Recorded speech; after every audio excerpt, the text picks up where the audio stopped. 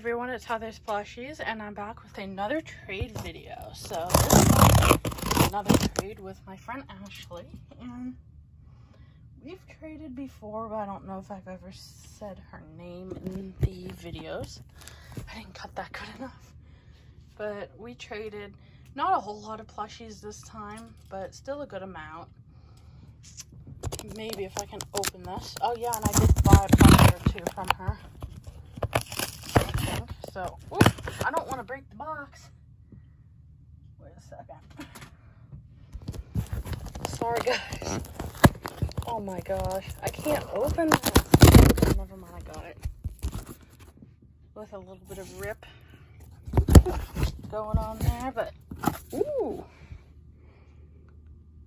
Some of these guys are bigger than I thought they were going to be. So we've got the Webkinz Rottweiler. So if you don't know, Rottweilers are my favorite breed. And she left the sticker on. Look at that. She left the sticker on his butt. Really? That's funny. Um, but if she were to sell this guy, she should have took the sticker off. The tush tag's cut, which I don't mind. I mean, for a plushie like this, I don't mind, but if it's an SOS plushie, of course I would mind. Um, you know, sorry. Sorry about that. So anyways, this is the Webkinz Rottweiler. So I love Rottweilers. And here is a cheetah, which undecided if I'm going to keep or sell. Um, he's actually kind of special, so I might keep him because I got him from Ashley. He's from Adventure Planet though. And this guy, I believe that's a Fiesta. I don't know why, I just can tell. Actually, I don't know. I might keep, I might sell, I don't know. This cheetah is what I was excited for. He looks like an SOS plushie, but he's not. Um, let's see what it says on here.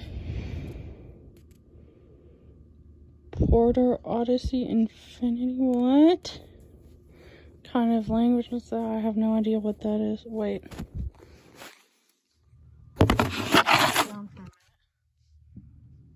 Get past this for Importador. Hmm. I have no idea, guys. But he reminds me of this guy right here. I'm gonna pull him out for a second.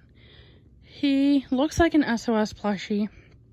The seller, so he has no tush tag. The tush tag was cut off, but the seller said that he was from Wild Republic. Those are Wild Republic plushies. This does not look like a Wild Republic, but I could be wrong. I'm, I've been saying all along that he's Wild Republic because I didn't want to call the seller a liar. I mean, you don't know, or we don't know for sure because he doesn't have a tush tag. But this kind of, it might or might not be the same brand. Um, I don't know. What do you guys think? Might or not, might or might not be the same brand. This is what the tush tag says. I don't know if he's one of those um, simulation plushies from that AliExpress, but I'm definitely keeping him. He's SOS quality. And then I finally have another Webkinz signature, guys. Definitely needs a brushing, but it's a Webkinz signature Yorkie. I rarely ever come across Webkinz signatures because I don't want to pay for how expensive they are on Mercari. So I just find them when I can, and I found him from Ashley for, I think, 10. I've been wanting this Wild Republic Cougar from her for a long time. And this is unfortunately the smaller version, but at least when I get the um, bigger version, I'll have the smaller version to go with it. Now I have two Squishmallows. This Squishmallow Lion and the Squishmallow Narwhal. Get this box out of the way. So I can get a thumbnail photo, but these two are going up for sale. Um, and it's undecided whether it's undecided whether these two are going up for sale or not.